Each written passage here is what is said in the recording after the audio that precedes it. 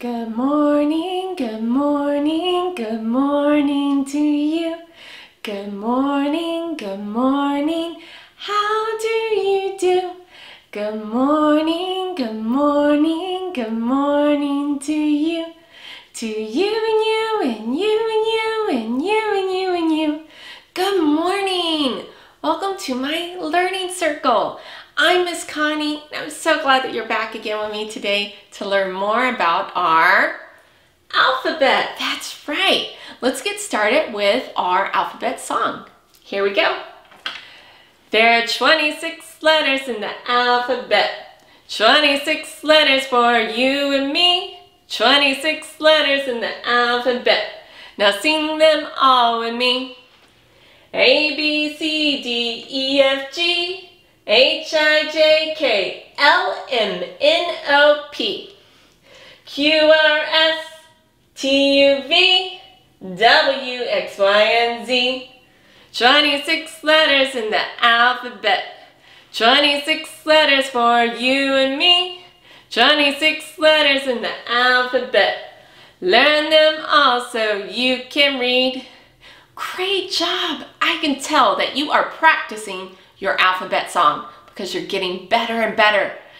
Keep practicing, it'll get easier and easier because the more we practice, the more we learn it. And the more we learn it, the easier it is. All right, now let's learn a new letter together today. Are you ready? Great! Today we are learning about the letter U, the uh letter U. This is our uppercase letter U, the big letter U. And this is our lowercase letter u, the little letter u. Let's put them up on our board so that we can focus on them a little bit more and learn a little bit more about them. Were you focusing with your ears? Did you hear me say the letter U sound? That's right, the letter U says uh. The letter U says uh, uh, uh. Can you say it with me? The letter U says uh, uh, uh. Very good.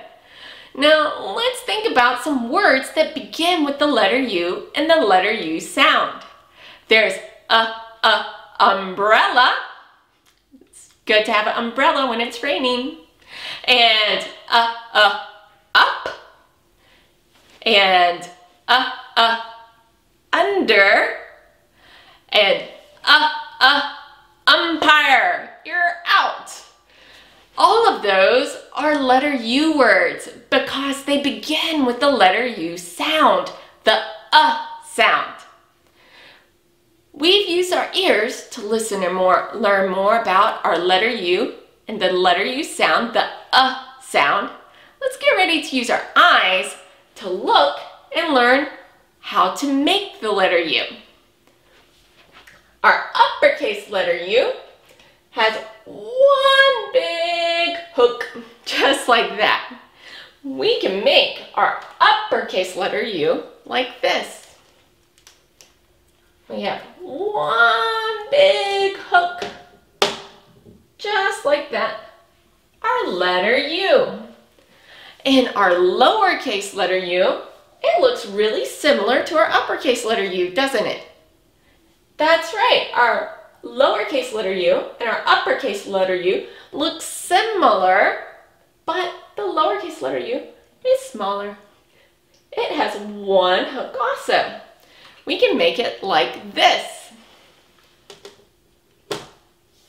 One little hook. Now, sometimes you might see the lowercase letter u with a little tail right here.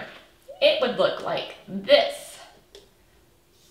the lowercase letter u. We have used our eyes to look and learn how to make our uppercase letter u and our lowercase letter u. And we've used our ears to listen and learn about the letter u sound, the uh sound. Let's get ready to put it all together so that we can talk about it. Now, when we write a letter, where do we always start? Always at the top. That's right. And our uppercase letter U, the uppercase letter U, the uh letter U, has how many lines? one big long hook. We start at the top and go all the way down and around the uppercase letter U. And our lowercase letter u, the lowercase a letter u, has how many lines? That's right, that's a trick question. Sometimes it has one line, sometimes it has two lines. We always start where though? At the top, very good. Sometimes you'll see it like this, our lowercase letter u, and sometimes you'll see it with two lines, like this. Either way, it's still the lowercase letter u.